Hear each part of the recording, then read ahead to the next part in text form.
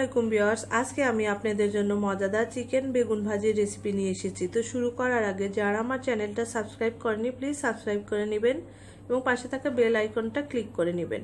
তো শুরু করা যাক। একটা বেগুন নিয়েছি আমি, ছোট ছোট বেগুনের কাট করে নিয়েছি। এবং মাঝখান দিয়ে আপনারা একটু খেয়াল করেন, আমি কেমন রিং আকারে একটা সার্কেল ভাবে কেটে নিচ্ছি। আমি একটু মোটা করেই বেগুনটা কেটে নিয়েছি। এখন কাটা হলে হাত দিয়ে জাস্ট পুশ করলে একটা রিংয়ের শেপ হয়ে যাবে। আমি সবগুলো কেটে নিয়েছি।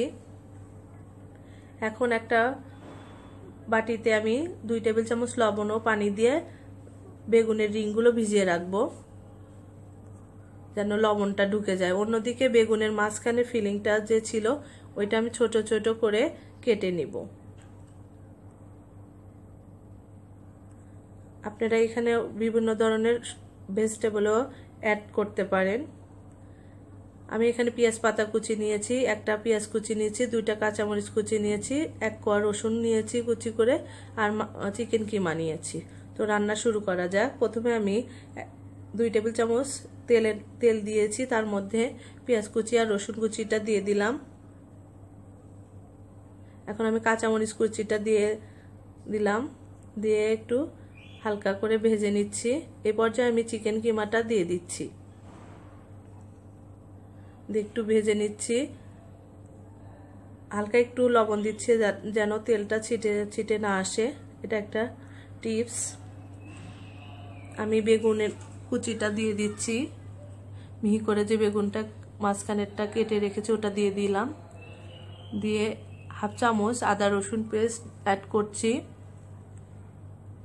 লবণ দিলাম স্বাদ অনুযায়ী।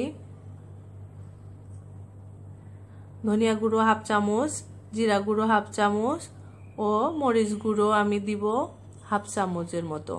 আপনারা ইচ্ছা অনুযায়ী ঝাল কম বেশি করতে পারেন। এখন আমি ভালো করে ভেজে নিব।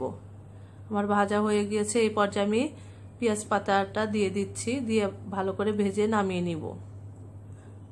আমি, আমার হয়ে গিয়েছে, আমি নামিয়ে নিয়েছি। এই পর্যায়ে আমি একটা ডিম অ্যাড করছি। করে ডিমে যতটুক লবণ লাগবে, ঠিক ততটুক লবণ ডিমের উপর দিয়ে আমি ভালো করে মিক্সড করে নিব। আমি, আমার মিক্সড হয়ে গিয়েছে। এখন আমি কড়াইতে কিছু তেল দিয়ে, তিন টেবিল চামচ মতো তেল দিয়ে বেগুনের রিংগুলো দিয়ে দিচ্ছি এবং রিংয়ের ভিতরে আমি ওই ফিলিংগুলো দিয়ে দিচ্ছি। সমান করে দিবেন, বেশি করে দিতে যাবেন না।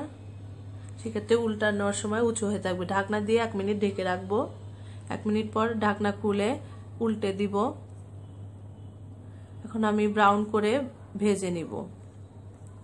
আমার মোটামুটি ভাজা হয়ে গিয়েছে, আমি উঠিয়ে পরিবেশন করব। তো তৈরি হয়ে গেল মজাদার চিকেন বেগুন ভাজি। আপনারা অবশ্যই ট্রাই করবেন, এটা পোলাও, ভাত সব কিছুর সাথে সার্ভ করতে পারবেন। ভালো লাগলে কমেন্ট